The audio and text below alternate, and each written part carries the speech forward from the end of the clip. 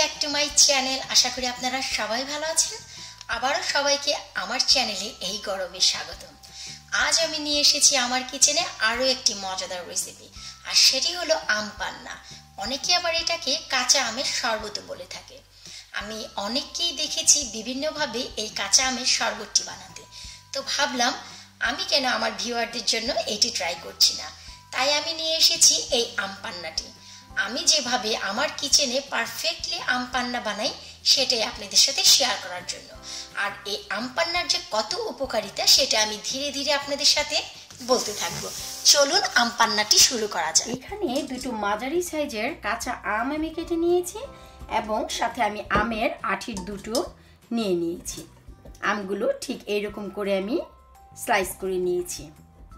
এখন এতে আমি অ্যাড করব ওয়ান লিটার নর্মাল পানি।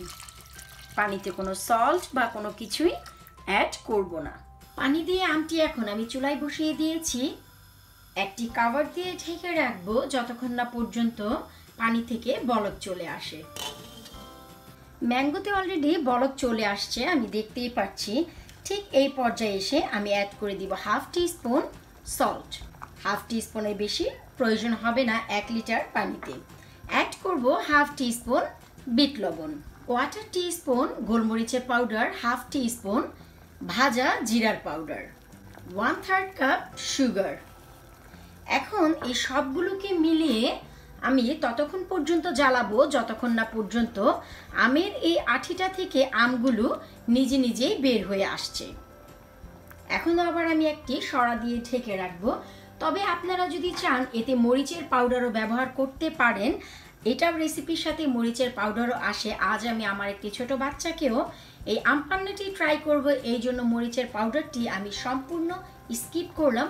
আপনাদের ঘরে যদি কোনো বাচ্চা না থাকে, আপনারা স্কিপ করার চেষ্টা করবেন না। দশ মিনিট জ্বালানোর পর আমগুলো সম্পূর্ণ গলে গেছে। আপনারা দেখুন, আমি যেমনটি বলেছিলাম যে আঠি থেকে মাংসটি সম্পূর্ণ চলে আসবে। ঠিকই হয়েছে আঠি থেকে আমটি সম্পূর্ণ উঠে এসেছে। এখন আমরা একটি হ্যান্ড উইস অথবা ব্লেন্ডারের সাহায্যে ব্লেন্ড করে নেব। আসলে আমটি এত বেশি সফট হয়ে গিয়েছিল যে আমার ডাল ঘুটনি দিয়ে ঘোটা দেওয়ার পর সম্পূর্ণ মাস হয়ে গেছে। এখন এই অবস্থায় আমি আরও দুই থেকে তিন মিনিটের মতন জ্বালাবো আর এই সময় চেক করব যে লবণ, ঝাল, মিষ্টি সব ঠিক আছে কিনা? যদি না থাকে, আপনারা আপনাদের পছন্দ মতো কম বেশি অ্যাডজাস্ট করে নিতে পারেন। এখন এই আমের মিশ্রণটি আমি একটি নেটের সাহায্যে চেলে নিব। আমের মিশ্রণটি সম্পূর্ণ চালা হয়ে গেছে। এখন এই মিশ্রণটি নর্মাল টেম্পারেচারে এনে নর্মাল ফ্রিজে রেখে দিব ঠান্ডা হওয়ার পর্যন্ত। মিশ্রণটি সম্পূর্ণ ঠান্ডা হয়ে গেছে। ফ্রিজ থেকে বের করেছি। অলরেডি দেখা যাচ্ছে ফ্রিজের ঠান্ডা ধোয়াটাও উঠছে। এখন তারপরে যদি চাই আমরা এতে কিছু বরফ অ্যাড করে নিতে পারি। অ্যাড করে এর উপর আমরা আম পান্নাটি ঢেলে নিতে পারি। এতে দেখা যাবে ঠান্ডাটি আরও অনেক বেশি হবে।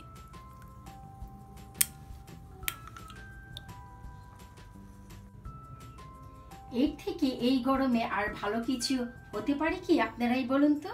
আর এর উপকারিতার কথা বলব বলেছি, সেটিও বলছি আমি। দেশে এখন ভীষণ গরম। ওয়েদারের সাথে বিভিন্ন ধরনের বাঘ ও ভাইরাস ঘুরে বেড়াচ্ছে।